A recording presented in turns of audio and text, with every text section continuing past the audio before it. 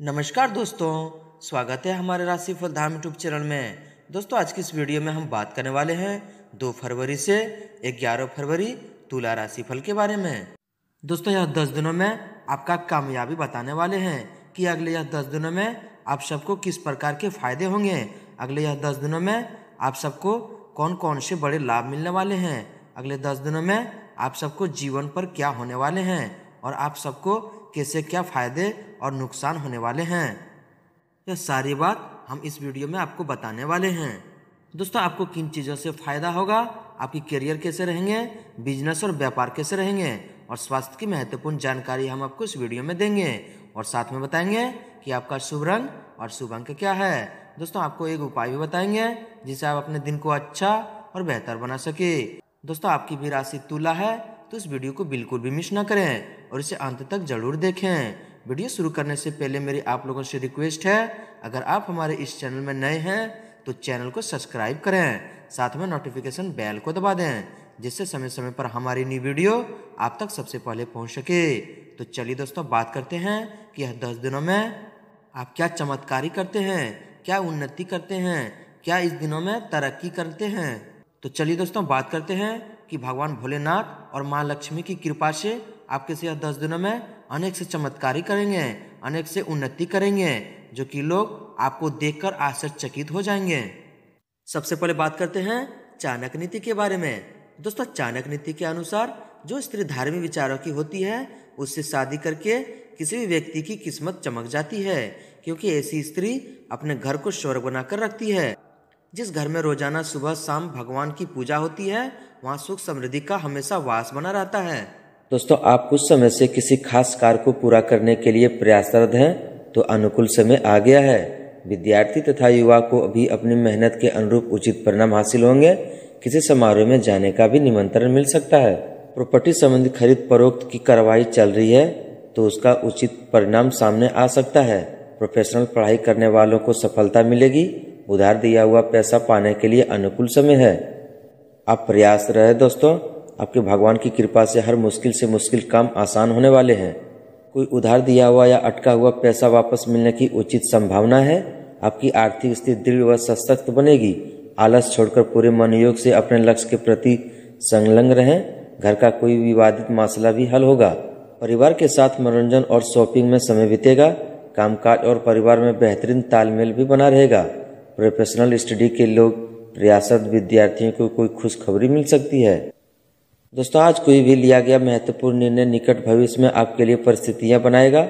इस समय परिस्थितियाँ अनुकूल है। घर के वारिस सदस्यों के मार्गदर्शन रहेगा। धार्मिक अथवा आध्यात्मिक गतिविधियों में भी समय व्यतीत होगा। दोस्तों, यह दो दिनों में आपके कर्म प्रधान अच्छे होने के कारण आपके सभी काम पूरे हो जाएँगे। दोस्तों नेगेटिव में आर्थिक रूप से यह पहला दिन ज़्यादा अनुकूल है। किसी भी प्रकार के निवेश अथवा लेन देन संबंधी कार्यों को न ही करें। किसी बड़े राजनीतिक अथवा अधिकारी से मुलाकात फ़ायदेमंद साबित होगी। ऑफ़िस में दिनचर्या बहुत ही व्यवस्थम रहेगी। परिस्थितियों को अपने पक्ष में करने के लिए किसी अनुचित कार्य का सहारा न लें, अन्यथा परेशानी और अधिक बढ़ सकती है। क्योंकि कोई व्यक्ति आपसे अपनी चुपड़ी बातें करके आपकी गुप्त योजना हासिल कर सकता है। दोस्तों, अपनी भावनाओं पर काबू रखें। गुस्से और जल्दबाजी की वजह से कोई गलत निर्णय भी ले सकते हैं। अपने खर्चों पर नियंत्रण रखना ज़रूरी है। भूमि या वाहन संबंधी कोई लोन लेने से पहले किसी अनुभवी से सलाह अवश्य लें। दोस्तों, यह दो दिनों में आपकी भगवान की चमत्कारी ऐसी होगी कि आप कोई भी कार्य करेंगे तो आपको सफलता ही मिलेगी। परंतु आय के साथ साथ व्यय की भी स्थिति बनी रहेगी।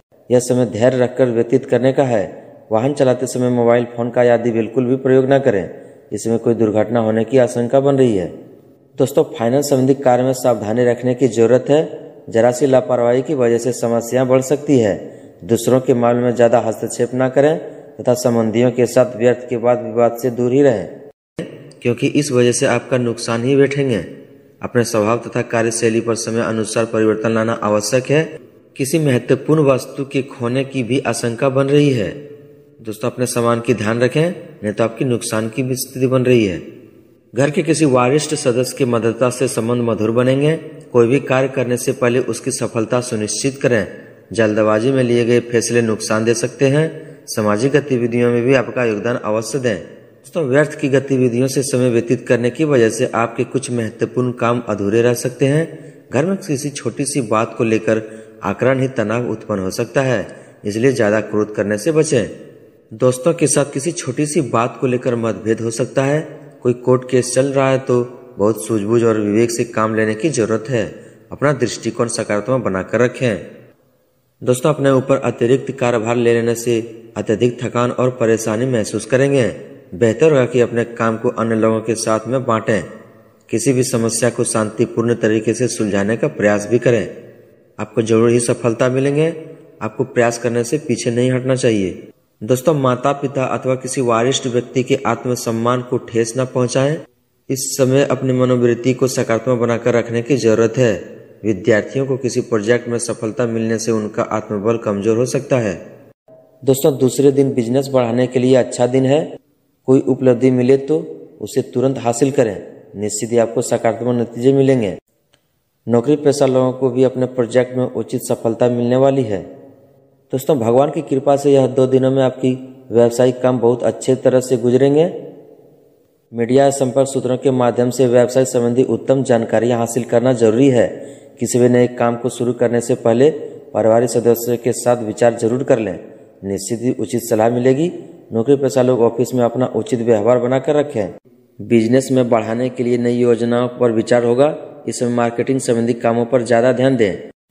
किसी कर्मचारी की नकारात्मक गतिविधि की वजह से ऑर्डर कैंसिल हो सकता है। नौकरी के लिए प्रोजेक्ट को लेकर अपनी कोई योजना गलत हो सकती है। दोस्तों, कार्यस्थल पर व्यवस्था और अनुशासन रखें। इस वक्त कुछ कड़े और महत्वपूर्ण फैसले लेने की ज़रूरत है। हालाँकि किसी अनुभवी व्यक्ति का सहयोग आपके कार्य पर पूरी तरह सहायता और मदद करेगा, कोई ऑफिशियल यात्रा भी हो सकती है। बिज़नेस में मेहनत का पूरा फ़ायदा मिलेगा, बड़ा ऑर्डर भी मिल सकता है। इंपोर्ट एक्सपोर्ट संबंधी बिज़नेस में फ़ायदा हो सकता है, नौकरी पेशा लोगों को कोई ऑफिशियल यात्रा भी ऑर्डर मिल सकता है। दोस्तों, यह दो दिनों में आपकी व्यवसाय में चमत्कारी रह सकते हैं। दोस्तों, यह दो दिनों में व्यापार की शुरुआत करते समय किसी भी व्यक्ति से पैसा उधार न लें। किसी बैंक से ही लोन लेने की कोशिश करें, तभी व्यापार में सफलता मिल सकती है। दोस्तों, इस समय बिज़नेस में एक्स्ट्रा कामों की ज़िम्मेदारी मिल सकती है। फ़िलहाल वर्तमान गतिविधियों पर ध्यान दें। कुछ नए ऑर्डर मिलने की संभावना है, परंतु सोच समझकर ही निर्णय लें। सरकारी सेवरत लोगों को कोई ऑफिशियल यात्रा का ऑर्डर मिल सकता है। व्यवसाय में किसी अनिश्चित कर्मचारी की वजह से दिक्कत आ सकती है। इसमें धैर्य और विवेक से काम लेना उचित रहेगा, क्योंकि ज़्यादा रोक टोक करने की वजह से व्यवस्था बिगड़ सकती है। ऑफ़िस में कोई टारगेट पूरा होने से राहत मिलेंगे। दोस्तों, कार्य क्षेत्र में कर्मचारियों तथा सहयोगियों का पूर्ण सहयोग रहेगा। उत्पादन क्षमता बढ़ेगी। युवाओं को अपने भविष्य संबंधी योजनाओं पर पूरा ध्यान रहेगा। वही बात करते हैं लव लाइफ की। दोस्तों, दाम्पत्य संबंधों में मधुरता रहेगी। प्रेम संबंधों में भी और अधिक नजदीकी आएगी। पति पत्नी आपसी सामंजस्य द्वारा घर की व्यवस्था को उचित बनाए रखेंगे। प्रेम संबंधों में भी एक दूसरे के प्रति विश्वास रखना ज़रूरी है। दोस्तों, घर परिवार में सुखनामा माहौल रहेगा। घर में बच्चे की किलकारी संबंधी शुभ सूचना मिलने से प्रसन्नता पूर्ण माहौल रहेगा। कुछ समय परिवारिक सदस्यों के साथ मनोरंजन और घूमने फिरने के लिए निकालना उचित रहेगा। लव पार्टनर की भावनाओं को कद्र करें। दोस्तों, पारिवारिक वातावरण सुखद रहेगा। युवा वर्ग अपनी दोस्ती में मर्यादा का ध्यान अवश्य रखें। पारिवारिक जनों के साथ समय व्यतीत करने से ताजगी व ऊर्जावान महसूस करेंगे। घर में भी खुशी का वातावरण रहेगा। अब बात करते हैं स्वास्थ्य की। रिक्स प्रवृत्ति के कार्यों से दूर रहें। गिरने अथवा वाहन आदि से चोट लगने की आशंका बन रही है। थकान हावी रहेगी। नकारात्मक विचारों को अपने ऊपर हावी न होने दें। मेडिटेशन पर भी ध्यान देना ज़रूरी है।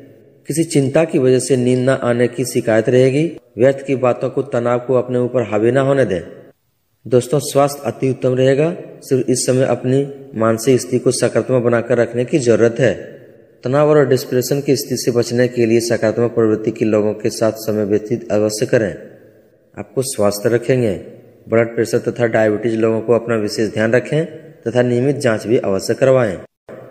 दोस्तों, आप बात करते हैं आपके उपाय के बारे में।